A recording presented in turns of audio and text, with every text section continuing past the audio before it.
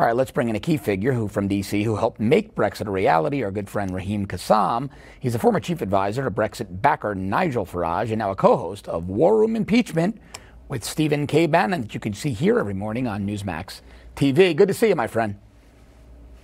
Great to be on, John. Thank you for having me. So, for the American viewers who hear about politics in the UK but don't really understand their electoral process, just give a brief tutorial on what's happening here, what's going to happen tomorrow, and what it means to us here in the States.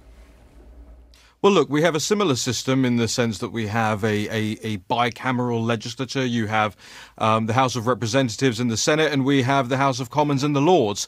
Um, we also have, uh, you know, members, uh, i.e., members of Congress. We call them members of Parliament. Um, but the difference comes when you uh, have the members of Parliament effectively deciding from each party who the party leader is going to be, and therefore who the Prime Minister uh, will be, who effectively will run the executive branch of government from within the parliamentary party. That's obviously you guys uh, elect your president. You go to the polls and put an X in the box of Donald Trump or Hillary Clinton or Andrew Yang or whoever you know it might be. Whereas actually we are given a very finite number of options where it's selected by the party.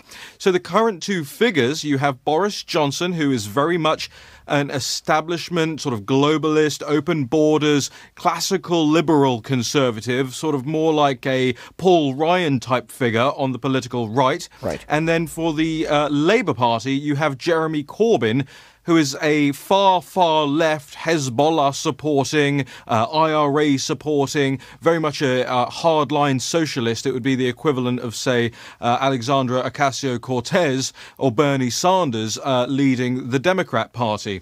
So these two have been, uh, uh, you know, punching it out uh, on the campaign trail over the last 30 days. And as you say, we're about we're about 15, 16 hours now from Britons going to the polls and deciding between these these two figures. They don't vote for the Prime Minister, they will vote for their Member of Parliament, but really in everyone's minds when they go into the uh, polling stations tomorrow, are we putting an X next to the box that says Conservative, which means we have a higher likelihood of ending up with Prime Minister Boris Johnson again, or are they going to make the socialist choice and end up with Jeremy Corbyn? Now, we have two parties, uh, uh, big parties, just like you do, but we also then have a plethora of smaller parties the Liberal Democrats, the Scottish National Party, the Brexit Party, right. the Green Party. Party, the Women's Equality Party. And so you have that added variable of a, a, a coalition. And we've had many coalition governments in recent decades. So, you know, this, this is a very interesting election. And if my predictions are anything to go by, I suspect that Boris Johnson will end up with a majority and the Conservative Party will have a majority